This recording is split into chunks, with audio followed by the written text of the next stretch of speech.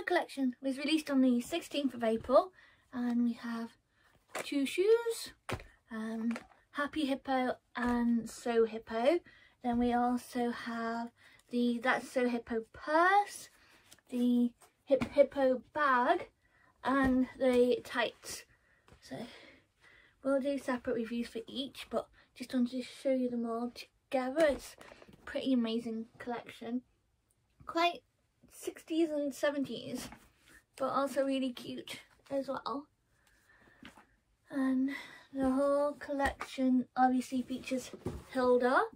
Um, funny story, um, I hadn't seen the soles of the shoes and I was at Irregular Choice Manchester when hippos were about to go live and in my guide, I was kind of calling her a he or a she.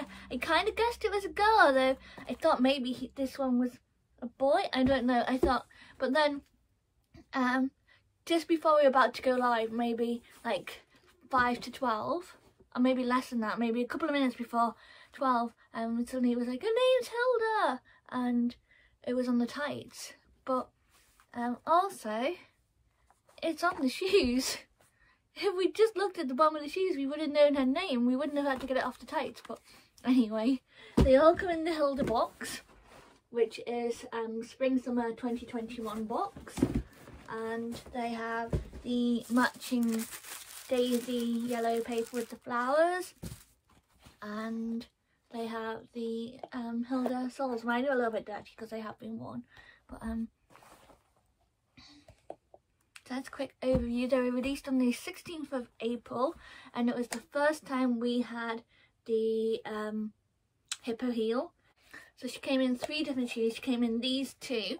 And um, there's also a black colourway of this and a black colourway of these rainbows. And then there's also Hippo which has the flowers going up the side that kind of looks like a boot that isn't. It's got like a facade on the side of all the little flowers. Um, so that's the general collection. The purse.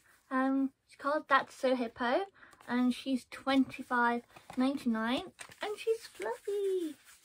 She is a little bit fluffy, like short hair fluffy.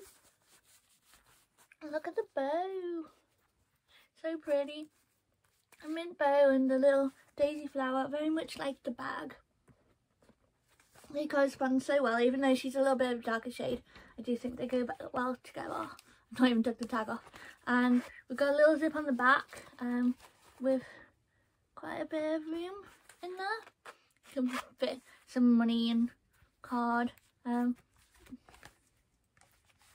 I sometimes like to do this as well. I put um clip on so like if I'm on a cruise or somewhere like a hotel and all I really need to carry is my key card and maybe I could probably fit in a face mask.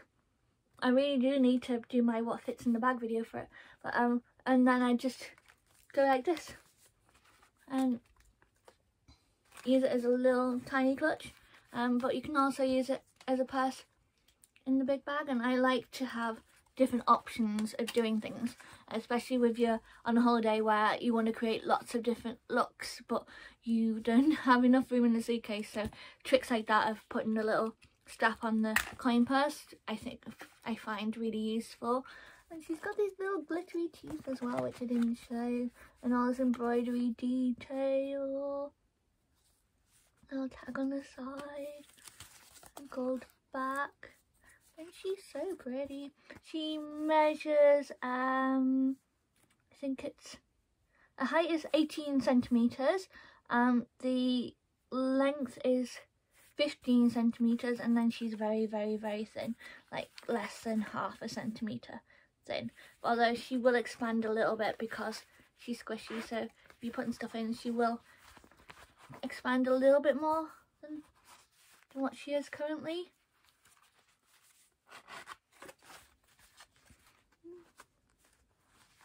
And just thought we'd have a very quick look at her. She deserves a video in her own right. Lovely little wink.